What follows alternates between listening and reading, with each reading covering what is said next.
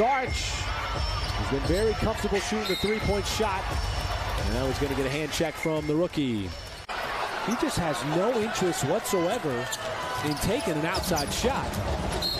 As that'll be a cheap reach-in foul. And the Thunder in the bonus. Back-to-backs are something that is in the cards for OKC. They got four back-to-backs coming up over the remainder of the season, and SGA just slicing his way right through that Utah defense. And the Thunder making life hard on him, much like they did on Markkanen Friday night. Well, he's a streaky shooter, and, you know, he's a terrific scorer.